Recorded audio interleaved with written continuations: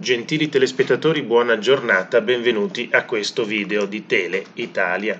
Matteo Salvini, il segretario della Lega, fa e scrive un post dove si vede lui con la mascherina in Senato, mascherina bianca, distante dagli altri senatori, eh, cravatta verde e scrive incredibile, sono in Senato ad ascoltare il ministro dell'agricoltura che ha appena chiesto la sanatoria per centinaia di migliaia di clandestini da far lavorare nei campi. Ma non avrebbe più senso aiutare tutti gli italiani che hanno perso e perderanno il lavoro per la malattia, dando a loro precedenza e contratti, invece di pensare a regolarizzare un esercito di clandestini?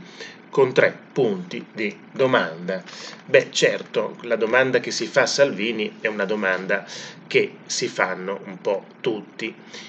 Teresa Bellanova, renziana, ministro dell'agricoltura, dice ci sono 600.000 irregolari che vengono spesso sfruttati in modo inumano.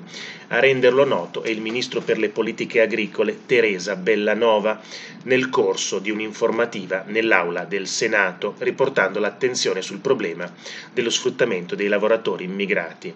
Ma attenzione, in Italia ci sono 600.000 irregolari, cioè clandestini, che non dovrebbero essere sul territorio italiano. Quindi eh, ci sono ma non dovrebbero esserci, sono clandestini in Italia entrati senza avere le credenziali per entrare, documenti, ricongiungimenti familiari, quindi sono illegali sul territorio italiano. E allora cosa facciamo?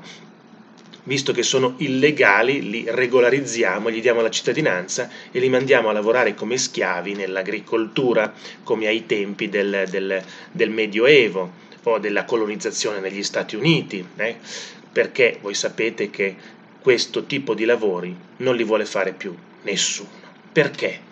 Lavoro faticoso, pagato da fame, e quindi nessuno o quasi nessun italiano ha intenzione di andare a piegare la schiena sui campi a raccogliere i pomodori per eh, 20-30 euro al giorno.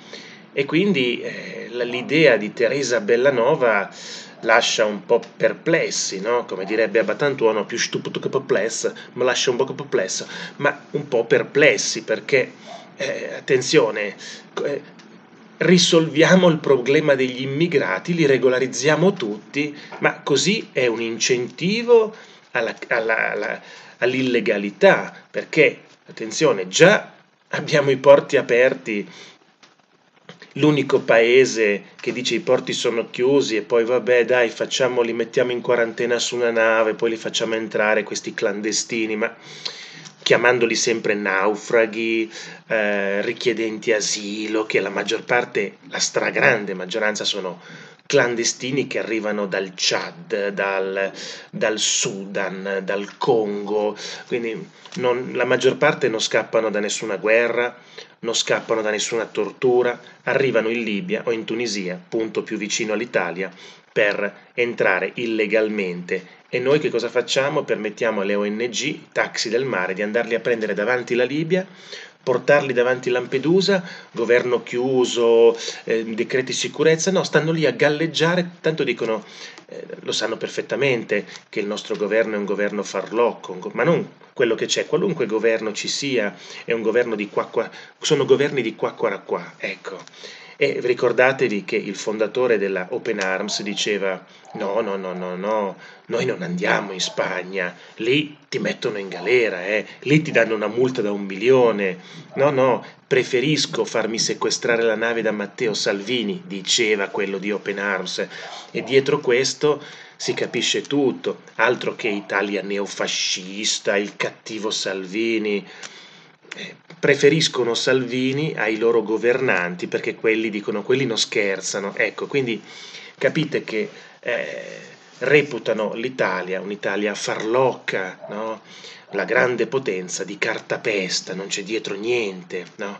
E quindi la, la, la teoria della, della Bellanova è regolarizzare gli immigrati. No, gli immigrati irregolari devono essere mandati al loro paese perché sono qui in maniera irregolare. Eh, ma non ci sono accordi tra i paesi, quindi è impossibile mandarli indietro. Va bene, ma la, eh, la soluzione non è regolarizzare i clandestini, perché sennò questo è un messaggio sbagliato, è un messaggio molto sbagliato, come dire, tu arrivi in Libia, paghi 1500 dollari, che per loro sono tantissimi, uno scafista fa due miglia nautiche, ti porta sull'ONG, il taxi del mare ti porta fino in Italia, non ti preoccupare, tanto ti fanno scendere, tu stai lì tranquillo sulla nave, ti fanno scendere, ti mettono in un centro di accoglienza, poi ti regolarizza il ministro dell'agricoltura e ti manda a lavorare nei campi. Capite che è un incentivo all'illegalità, non si risolve il problema dei clandestini eh, regolarizzandoli, ma immaginatevi un discorso così da un ministro tedesco, eh, spagnolo, dove non scherzano, eh? Eh, non ha, o non so, un ministro degli Stati Uniti, tutti quelli che arrivano dal Centro America, ma dai, dagli la cittadinanza degli Stati Uniti, mandiamoli a lavorare nei campi di cotone. Ma vi rendetevi conto di quali proposte? Ovviamente l'agricoltura ha un problema. L'agricoltura ha un problema che per competere con i prodotti che arrivano dai paesi terzomondisti, chiamiamoli così, dove pagano un euro a due euro al giorno, al giorno, al giorno, eh, devi sottopagare le persone al di sotto di quello che è un minimo. Se tu vuoi pagare un lavoratore agricolo 1400-1500 euro in regola e poi devi pagare i contributi, ti costa come 3000 euro al mese uno.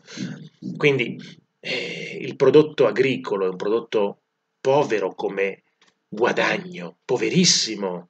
Quindi eh, economicamente, ecco, in, un, in, una logica economica, il, non ne vale la candela, nel senso che tenere un'azienda agricola avendo dipendenti da pagare con tutte le tasse 3.000 euro al mese, tasse più stipendio, non regge, non funziona. Quindi eh, non ne vale la candela, dice, devo chiudere l'azienda perché non è redditizia, si perde, perché la competizione globale, la globalizzazione, dove ci arrivano i prodotti dall'Africa, dall'India, eh, da, da, da, tutto il mondo, dove c'è uno, una retribuzione da, da terzo mondo, eh, per in Italia competere con i prodotti stranieri devi avere una retribuzione da terzo mondo. E allora l'idea della Bellanova, prendiamo quelli del terzo mondo e li facciamo lavorare in Italia, così i nostri proprietari terrieri, i nostri latifondisti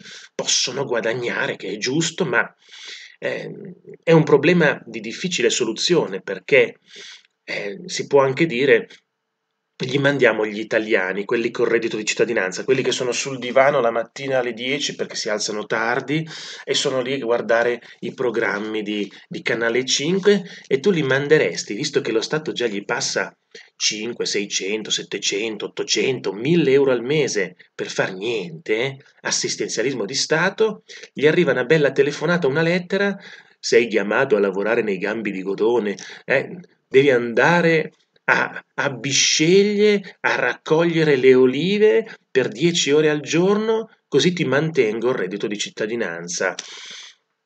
E allora uno dice, beh, a questo punto non vado a raccogliere le olive a Bisceglie, ma eh, sto dicendo un nome a caso, nessuno si offenda, ma mi vado a cercare un lavoro qui vicino casa, magari vado a fare la commessa, il commesso in un negozio, piuttosto che andare a Bisceglie a raccogliere le olive per 600 euro al mese. Quindi, naturalmente, Salvini dice abbiamo gli italiani disoccupati. Attenzione, si dice che con questa crisi ci saranno più o meno più di 3 milioni di disoccupati, oltre e di nuovi poveri, oltre quelli che già c'erano prima della crisi. 3 milioni. Nell'agricoltura ne servono 300.000, 250.000. Quindi addirittura ci sarebbe più domande di quelle reali, ma è un paese dove le persone non vanno a raccogliere più i pomodori, non ci vanno, non ci vanno. E quindi in Italia arrivano lavoratori stagionali dal, dalla ex Jugoslavia, del, ad esempio, dalle, dagli ex paesi dell'Unione Sovietica. Naturalmente col blocco delle frontiere non possono arrivare. E allora la Bellanova dice i clandestini, loro devono essere regolarizzati. Ma eh, intanto prendiamo quel milione e cinquantamila fruitori del reddito di cittadinanza e gli diciamo accetti tu di andare a raccogliere i pomodori a Barletta? No. Beh, ti tolgo il reddito di cittadinanza. Ah, ma tu dovevi propormi tre lavori. Bene, ti propongo i pomodori a Barletta, le olive a Bisceglie e nel Veneto di andare a raccogliere la scarola, la lattuga. Mi rifiuti tutti e tre? Eh, ma è sempre agricoltura. Me li rifiuti tutti e tre? Ti tolgo il reddito di cittadinanza. Auf Wiedersehen, goodbye. Intanto proviamo con tutti quelli che hanno il reddito di cittadinanza a vedere se hanno voglia di andare a raccogliere la scarola in Veneto. Magari qualcuno ci va. Cominciamo a vedere quanto il, l'agricoltura può assorbire di lavoratori che arrivano dal, dal, dall'Italia, diciamo.